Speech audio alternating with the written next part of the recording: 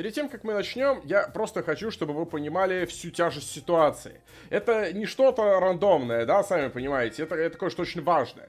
Это, это что-то невероятно важное. Я объясню почему.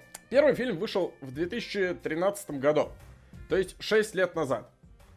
Если вы хотя бы раз были в Disney Story, или неважно в каком сторе, в любом магазине игрушек буквально, или хотя бы рядом с ним проходили, то вы наверняка представляете себе, что мерч до сих пор продается как горячие пирожки холодным зимним утром Сука, холодное сердце это невероятная доильня, просто гигантская. Вот представьте себе не, такой вот завод, который там, не знаю, миллион гектаров, сука, занимает. Он такой, знаете, квадратный, очень мрачный, просто вот вы из него заходите, там смерть от него воняет, просто вот отвратительно, просто отвратительно заходите и видите, там просто миллионы коров стоят в ряд, и все эти коровы подключены к одному, к одному гигантскому шлангу. Вот знаете, это такие доильные штуки, да, все из нее идут, ну как порнографии вот идут, идут, идут. И они все, все соединяются в один гигантский шланг. Этот гигантский шланг идет э, внутрь завода. И если вы пройдете в этот самый внутрь завода, вот там несколько километров пройдете, вы заметите, что там стоит просто гигантский такой чан, наполненный очень холодным, сука, свеженьким, вот только что надоенным молоком. И там написано Frozen на нем, этот гигантский логотип Frozen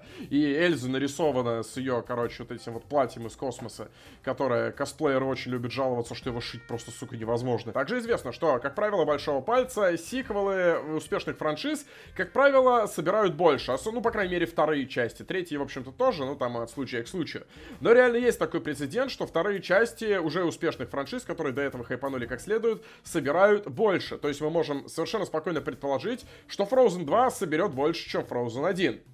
Я не говорю, что мы сейчас смотрим на претендента на самый кассовый фильм в истории после «Мстителей» сразу. Но, честно, вы удивитесь, вот, вот вы удивитесь, я нет. Я только что понял, что у меня микрофончик был отогнут немножко назад. Я надеюсь, это не сильно повлияет на качество звука. Но даже если касса Мстителей не побьет, скорее всего, все-таки нет. Я вам гарантирую, это будет одна из, если не самая прибыльная франшиза на Земле. Хотя она и сейчас уже, я думаю, очень близка к этому статусу, скорее всего. А, вот они со Звездными войнами, они на уровне где-то, я думаю. Что это означает для вас, как для рядового зрителя? Ну, если у вас есть дети, или младшие сестры-братья, или вы сами, в принципе, не против, э, я могу вам только посоветовать вот эту вот штуку кошелечную, да, вот, вот эту, знаете, которая такая открывается, и там вот, э, там, ну, знаете, деньги лежат, короче, в ней, да? Спрячьте ее куда-нибудь подальше. Потому что мы вот мы на этом канале обычно про микротранзакции говорим, да, про то, что там детишки типа родители банкротят. Это, вот, вот это вот они будут делать легально и прямо вам, сука, в лицо. Потому что они знают, что если вы не купите им все свежие игрушки с Эльзой и платье Эльзы, короче, и вот это все, ну, вы, а, а вы их просто на самом деле не любите. Они будут пользоваться этим как последние мрази, я вам гарантирую. Ну, собственно, да, теперь давайте посмотрим, что ж там за фильм такой. Far away. Пока что только вода графонистая, вот на что мы жаловались в прошлый раз.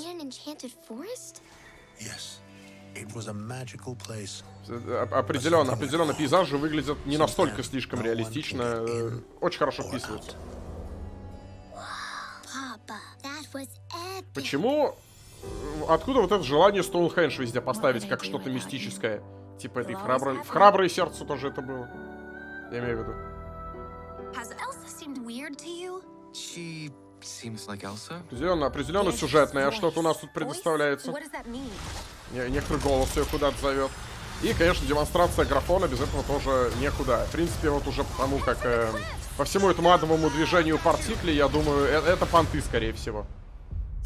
Но красиво выглядящие понты.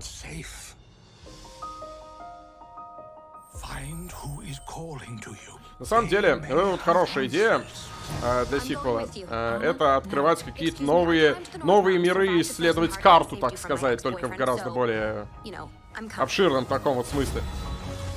Короче говоря, не сидеть на одном месте. Как э, многие другие сиквелы делают. Тем более, когда что исследовать есть, я имею в виду. То есть от э, такой более личной истории перейти к более глобальной, более эпической с якутскими шаманами, которые, видимо, видимо, идут, э, они пошли Эльзу изгонять, а потом, ну, она как бы сказала ФСБшникам, что не надо, не надо это делать.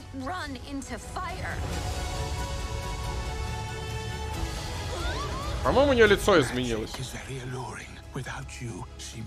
Э, не сильно графонистее стало, понятное дело, но чуть-чуть я вижу изменения, да. За зачем? Dark Souls 3 уже вышел. Зачем Ариандел защищать? Ну, ну ладно. Очень сильно этот трейлер графоном понтуется, я замечаю. Вот он, он прям, сука, чувствует это дело. Он прям хочет показать, насколько у нас э, партикли из космоса. А, ну игрушку продать тоже надо, это важно.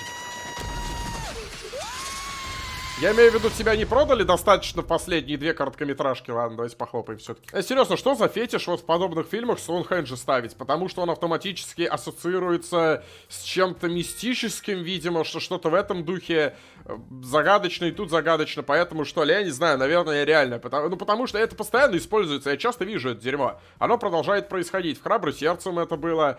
Э, ну окей, Вейстоуны в Скайриме немножко не то, но вы поняли мысль-ка, я, я не знаю. И, видимо, вот тот самый момент, о котором люди спекулировали про то, что, о боже, у наших любимых героев из того фильма, который мы смотрели в 2013 один раз, и мы даже толком не помним уже, что там было, мы в основном просто игрушки покупаем, у них детишки будут, то я, похоже, что нет, похоже, это просто флешбэк э, таинственных короля и королевы, про которых тоже никто ничего не знает. Но, видимо, знают. Видимо, видимо они все-таки довольно важные.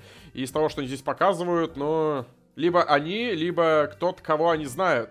Э, просто вот они показывают. Да, это явно не детишки вот Анны Эльзы, да, это просто кто-то рандомный. Рандомные детишки из э, какого-то непонятного племени якутских шаманов.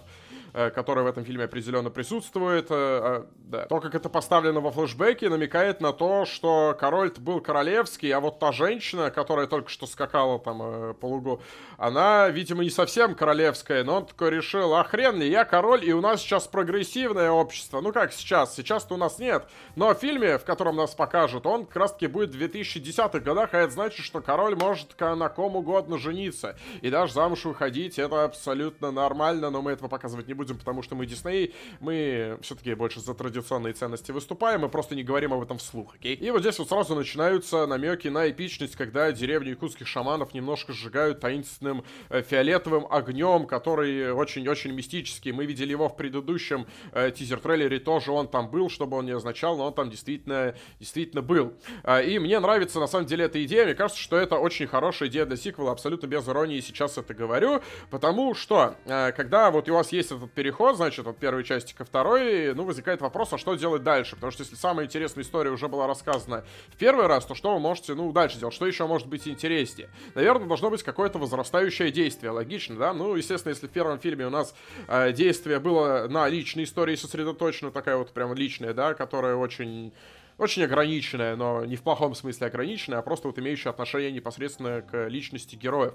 Э, как э, это действие может возрасти? Да очень просто. Нужно э, это действие взять и перенести его от личного к более глобальному, более масштабному, более эпичному. Э, которая, так сказать, больше, чем эти персонажи, вот само по себе и по весу, да, но при этом все еще имеет к ним непосредственное отношение, что, судя по этому трейлеру, они делать и будут как раз, но при этом оставят тоже немножко личностной драмы все-таки с вот этим вот выяснением, что же с родителями стало, как нам и тут тоже покажет. Э, идея хорошая. Я, конечно, ничего не хочу сказать, никаких Шедманов упоминать тоже не хочу, но я имею в виду, если вы зайдете на Пахил 34 где-нибудь спустя неделю после премьеры и посмотрите на соответствующие теги, я думаю, что некоторые, нек, не, некоторые творческие переосмысления вот этого кадра там наверняка, ну, наверняка вы найдете, если вам очень захочется, да. Если вы не знаете, что это, не, вам не обязательно знать, это, это для избранных, это для избранных. Это, конечно, уже очень давно было, в 2013 году, но я только вот сейчас начинаю задумываться, насколько у них, сука, одинаковое лицо у всех женщин. Типа, ну, ладно, я понимаю, что как бы мамка, там, дочери, ну, понятное дело, что они похожи, но это буквально одно и то же лицо. Вот, вот одно, сука. Я, я, я прям чувствую, как хорошо работала с дизайнером женских персонажей, потому что он просто берет рожу, копипастит ее на другую модельку и дает ей новый цвет волос, и все. Э, отлично, новая моделька готова, очень круто. Нет, ну серьезно, посмотрите на это. К этому моменту Дисней уже просто бейтит откровенно. То есть э, он не может напрямую это сделать, потому что прогрессивная общественность, ну не настолько прогрессивная, чтобы в своих э, детских мультиках поддерживать ЛГБТ, тем более, когда речь идет о, ну, немножко таком, знаете, вот, родственным, родственные узы, так сказать, вот э, э, немножко с этим ЛГБТ связаны, понятное дело, что, ну, нельзя, нельзя это показывать, но они настолько сильно бейтят. Ну, посмотрите на это дерьмо, опять же, я не могу быть единственным, кто видит, что они делают здесь. Ну, насколько это откровенный... Я, я не знаю. Это, наверное, какое-то мое проклятие личное, от которого только я страдаю. Я понимаю, что они мне сейчас пытаются объяснять сюжет, но все, чем я могу думать, это о том, что он одет в костюм Хью Хефнера. Э, славная память, там все дела, но, ну, серьезно, посмотреть. Он, он одет в костюм Хью Хефнера, зачем? Это, это то, как он дома ходит, потому что он теперь элита, э, наверное... Где ушки? Там, там, там на заднем плане вот за этим с диваном женщины прячутся в кроличьих ушках и в откровенных нарядах. Я, я имею в виду, э, Дисней, быть прогрессивным, так прогрессивно. Таинственные кадры, конечно же, которые должны нас заинтриговать, что же там за откровение такое творится. Но мне, на самом деле, из этого трейлера показалось, что Дисней реально пытается понтоваться графоном. Э, и я могу понять, как бы, да, почему нет. Все-таки, если вы хотите, чтобы ваше дело выглядело впечатляюще, а особенно учитывая то, что, ну, трехмерные мультфильмы сейчас все выглядят достаточно впечатляюще сами по себе, настолько, что это уже просто стало не впечатляющие. Я знаю, что это звучит парадоксально, но просто они все выглядят настолько хорошо, что для того, чтобы они выглядели плохо, нужно уже прилагать намеренные усилия или просто вообще никаких денег в это дело не вкладывать. Э, и как вот э, возникает вопрос просто, куда дальше можно зайти, что еще можно такого придумать для этой технологии, чтобы она выглядела, ну, настолько впечатляюще. Ну, они решили просто пойти в дикий реализм, по крайней мере, в предыдущем тизере это было видно, и сделать просто невероятно реалистичную воду и пляж. Да, вы помните вот этот знаменитый первый кадр, о котором я говорил, когда тизер разбирал, что там буквально, ну, невозможно было отличить это от вот э, лайв-футажа, от того, что на камеру снято, вот практически невозможно было отличить. А здесь они немножко меньше этого дела показывают. Даже если здесь вот посмотреть, очень сильно здания помогают, кстати, впечатлению. Здания выглядят абсолютно нереалистично, а, и дороги, как бы вся архитектура, архитектура в целом выглядит недостаточно реалистично. Это помогает э, напоминать нам, что это все-таки мультфильм, да, что это все-таки нереальная жизнь, и они очень хорошо с персонажкой работают, вписываются нормально, то есть это выглядит как целостная картина.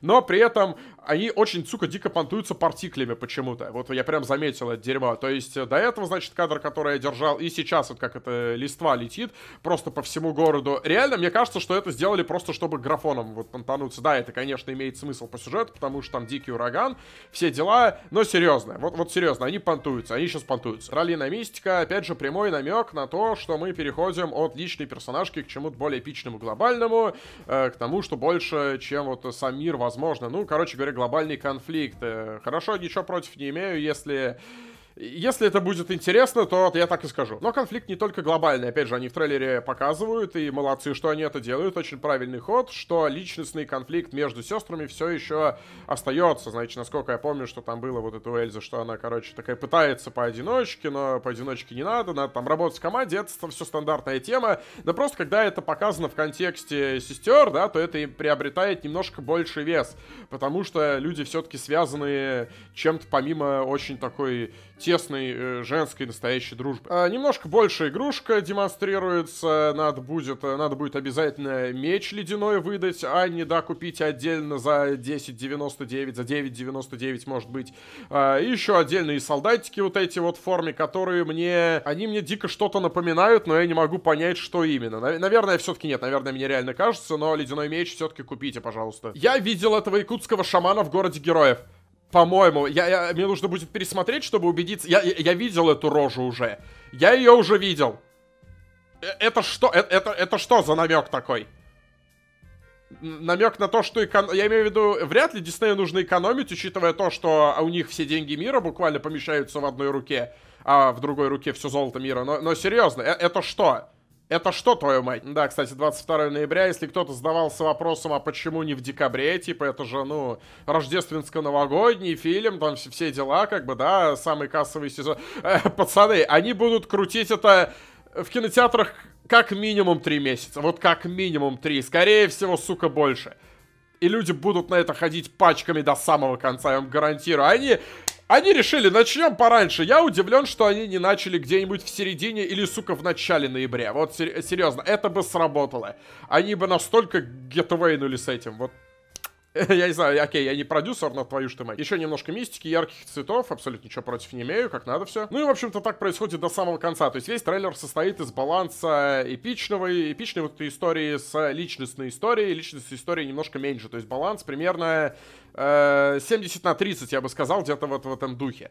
Э, выглядит достаточно интересно. Ну, еще, конечно, понты графоном, да, то есть э, буквально это, это буквально все то, чего я ожидал, на самом деле. Вот это то, что по логике должно было произойти. Я абсолютно не удивлен, то, что мне именно это и показывают. То есть э, э, переход, вот который я только что объяснял, э, потому что ничего другого там быть, в принципе, не могло. Э, и я, в общем-то, даже верю в то, что что-то из этого интересное получиться может. еще, вот кое-что интересное, что я заметил. Я, конечно, не голливудский продюсер, да, надо понимать, но э, просто вот я уверен, я, я уверен абсолютно, что на как минимум одном, возможно, самом первом э, совещании э, с дизайнерами персонажей была поднята тема, что, пацаны, косплееры сходят с ума, пытаясь сшить это долбанное платье Эльзы. Э, и как бы детишкам тоже продавать приходится дороже, Давайте мы как-то сделаем попроще. Давайте мы всем сделаем костюмы попроще, чтобы и детишки, и косплеерши хотели больше этим делом заниматься, им было проще, и чтобы они больше промоутили наш товар.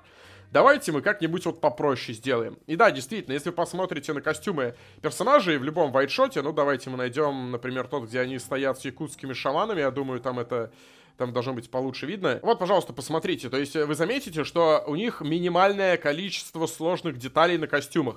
То есть э, вот сплошная ткань идет, э, здесь, значит, отдельно пояс, тут какие-то берюшки пошить.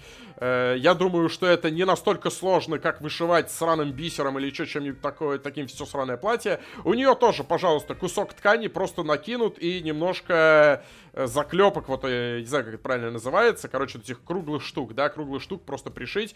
И у него тоже, ну, просто кусок ткани по факту, но достаточно стилизованный. То есть количество сложных деталей, в принципе, э, многообразие деталей не то чтобы очень много. Ну, вот реально немного. Мне кажется, что это сделано для упрощения намеренно, да, что это не просто так получилось, они реально хотят сделать это проще, чтобы, может быть, и детишкам было проще это дело рисовать, запоминать и, соответственно, показывать, какое платье они хотят в магазине, и косплеершам, чтобы облегчить им жизнь. Просто Дисней очень человечная, очень человечная компания. И напоследок еще больше мистики непонятки с водяными лошадьми, вот этими кастом на весь океан, чтобы графоном понтануться.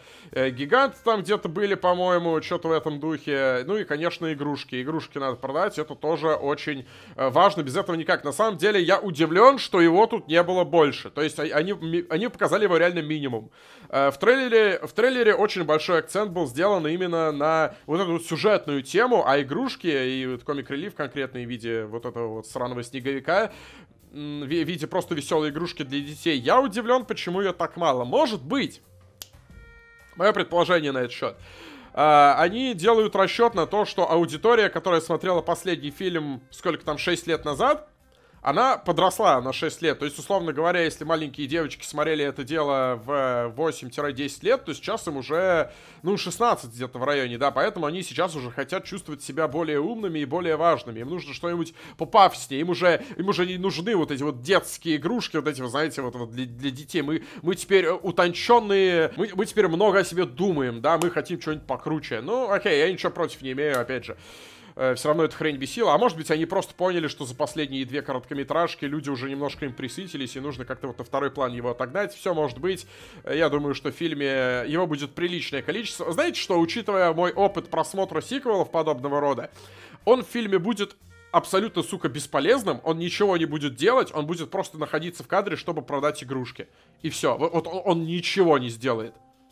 Буквально ничего. Он, он не будет нужен просто. Не то, чтобы он был нужен в первый раз, я имею в виду. Что в целом я могу сказать? Трейлер э, хороший. Он действительно справляется со своей задачей. Он действительно интригует людей смотреть сиквел и предоставляет им что-то новое. Да, он показывает, что в этом сиквеле будет нового и потенциально интересного. Главным образом, вот этот вот переход от личного конфликта к глобальному, но при этом личный все еще остается между двумя сестрами. Ничего плохого я даже про него сказать не могу. Ну и, конечно, понты графоном. Да, графон действительно выглядит впечатляюще. Но настолько ли впечатляюще? Я имею в виду, к этому моменту уже впечатлиться от него становится, ну, реально сложно. Но они пытаются. Так что пятерка за старание, наверное, да. А если тебе нравится смотреть, слушать, как я говорю, на видеоигровые или не видеоигровые темы в течение энного количества времени, то ты можешь всегда подписаться на этот канал и на мой основной канал, где делаю контент, в который же вкладываю какие-то усилия. Так что можешь поставить лайк или дизлайк этому видео, ты можешь ставить комментарий или несколько комментариев к этому видео, ты можешь, э, ну, я не знаю, ты можешь э, в Твиттер на меня подписаться. И спасибо тебе, что ты тратишь на меня время, мой дорогой ублюдок, иди сюда.